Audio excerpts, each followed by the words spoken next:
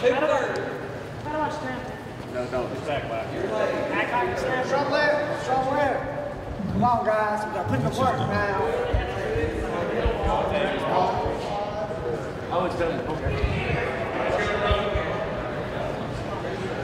Hey, stop Now, the brains behind this organization, Kitchen Crew, Joanne Lehman, ain't isn't it? And Uncle Bill. Amen, brother. What's for supper, Uncle Bill? Ribeyes, brother. Talk to me. Aren't you glad you come by? I'm glad that I came by. There's ah. former Tiger Love, Billy Wade's back here on the grill cooking. Cooking, cooking. Next week, there it is, folks. First Baptist ribeye, looking good. There's some more of our kitchen crew. Jerry Treadway, former Tiger. Ain't married. Hey. Former Tiger Uncle Ralph back there. Oh, How's everybody today? Great. And coming out of the kitchen is former Tiger Bill Webb, all-star dishwasher. Oh, Mr. and cheese Clem. Extraordinary coordinator Joe Story. Absolutely.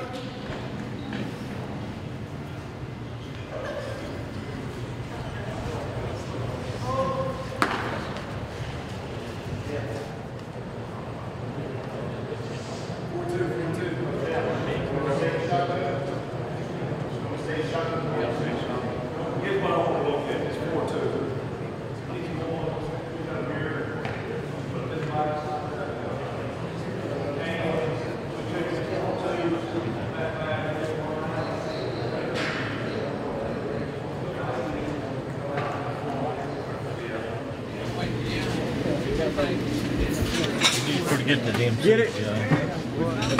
Spit it, B-Rad. Oh. Yeah.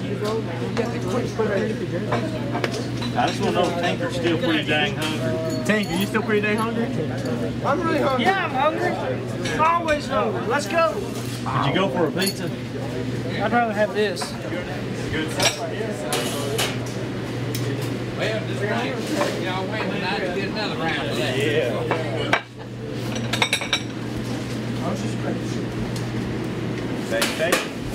They messed your flow up, didn't they? Yep.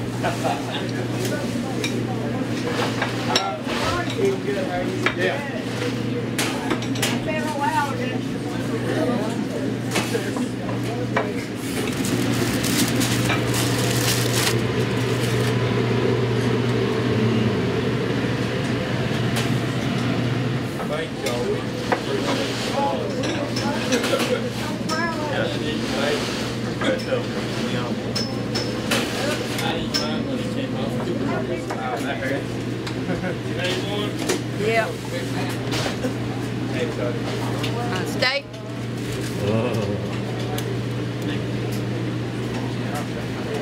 There's one or two in that one. I think. point in the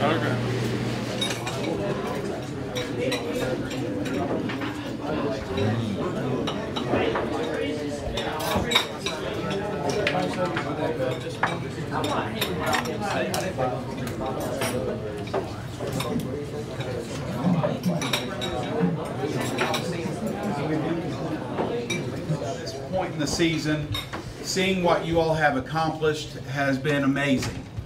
And uh, I congratulate you on that. I want to talk to you about uh, something the Lord's laid on my heart. Uh, I know we have some ladies in here, but, but one of the things that I found in, in a Bible study that I'm doing is something that God has revealed to me through His Word and through the study is, is God intends for the men that submit themselves to Him be great men. You know, when, when God saved my soul, when he, he made me acceptable in His eyes through the blood of Christ in order to go to heaven, He didn't save me simply to go to heaven. He saved me and left me here so that I could do something great. And I can be great in different areas of my life. God wants me to be a great dad. He wants me to be a great husband. He wants me to have a great home. He wants me to protect it. He wants me to do uh, great in providing for my family. He wants me to do great in the ministry that He's given me. So there are a lot of things that God wants me to be great in. And I look at throughout Scripture and I find men that submitted themselves to God, and not simply God. Uh, a lot of people use God as a generic term, but the Lord God, the one with all authority and with all power, the one who created all things. That God called men, and, He didn't simply call them to do something, but He called them to do something great. And in doing that, He made them great men. Uh, Abraham was one of those who became the father of the nation of Israel. David, who was a shepherd boy who became king of all Israel. Uh, throughout Scripture, you'll find men who did great things and became great men because of their submission to the Lord God, the one with all authority and with all power. You think of Gideon, who, who defeated an army of thousands with an army of 300. God asked him to do something great, and he became a great man. There's one judge in the book of Judges, and I can't even think of his name right now. There's only two verses in, in all of Scripture that name his name, but he was a farmer. And, and he took the instrument that he plowed the ground with, and he took out 600 Philistines that were invading his land. God made him great in that moment. And he, he became a great man because he submitted to the will of God.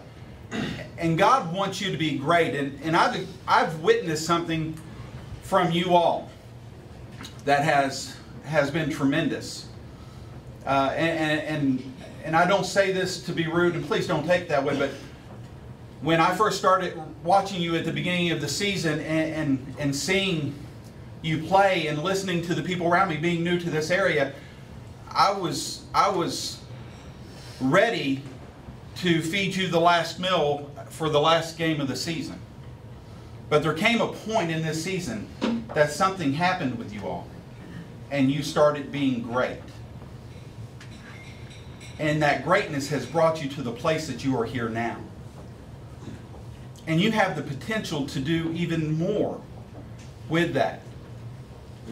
And I want to encourage you to continue doing what you're doing because, because you have started being great. And I don't know what that is. I don't know what that was. But you have energized a school, a community, and, and a surrounding area with, with what you all have accomplished. But the one thing I want you to get out of this today is that God has a purpose for your life. And, and beyond football, He wants you to be great. But the only way that you can be truly great in the eyes of an Almighty God who has given everything for you is to surrender your total self, all that you are, to His will and say, whatever you want is what I'll do. In Scripture, in the book of Exodus, chapter 34, it says, Thrice in the year shall all of your men, children, appear before the Lord God, the God of Israel. It goes on to say, For I will cast out the nations before thee, and enlarge thy borders. Neither shall any man desire thy land, when thou shalt go up and appear before the Lord thy God thrice in the year. Three times a year, the men of the nation of Israel were to go before God. They were to leave their families, their homes, all the men in the military, all the men that, uh, all the children that were old enough to be in the military, they left their entire land to go and spend time with God. And in doing so, they did that three times a year. And in those three times a year, they recommitted themselves to the will of God, to His authority, to His power. And God made a promise to them He says, when you do that, when you surrender to me, when you submit to me, nobody will desire your land. Nobody will desire what you have. Nobody will come against you because I'll be there and I'll have your back. To be great is to be submitted to God. And I want to encourage you. God wants you all to be great men. But that starts with a surrender to the God of heaven. Before we pray, um, Chase, Y'all ready to play tonight? Yeah. You ready to play tonight? Yeah. Guys, congratulations on being part of history. One of five teams to make it to the sub-state. But I don't think being a part of history is good enough. Y'all need to write history. And you got eight quarters left to write history. And you seniors, tonight's your last time that you'll play on Civitan Field. For some of you all, hopefully you guys have, you've only got eight quarters left of football, and then it stops. And you got to coach, and you got to help. You got to ruin your clothes painting football fields. So, like we said last week, we're leaving it all out. Nobody's believed in you all year, except for the people in this room. Fans didn't believe. Sullivan North didn't believe. Hampton didn't believe. Meigs County didn't believe. We're making believers. Okay? That first round game, we were at 17 Field, and you could have, you know, wasn't nobody in there. It's going to be all different tonight. We turned them all into believers. All right? We're playing with house money. Y'all know what house money is? House money. house money is when someone gives you money, okay? And it, it's just your money, it's your money to lose. There's no pressure with house money. So when you get house money, you push it all in. We're pushing it all in tonight for four quarters. Now, at the end of the night, we're going to make believers out of Tyner. We're going to come back here next Friday night and eat, and we're going to go to Cookeville and bring back a gold ball. Yeah. So don't be content with being a part of history. Be content with writing history. We've got eight quarters to do it, and it starts here in a couple hours. So good luck. Thank you. let's pray, guys.